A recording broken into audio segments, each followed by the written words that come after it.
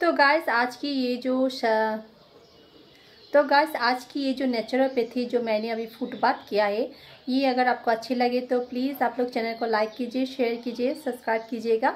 और दोस्तों, मैंने रात के अंधेरे में किया है तो इसलिए थोड़ा अंधेरा अंधेरा हुआ है। मैं फिर से ये प्रक्रिया आपको करके दिखाऊँगी, मेरे सेंटर पे करूँगी करूँगी तो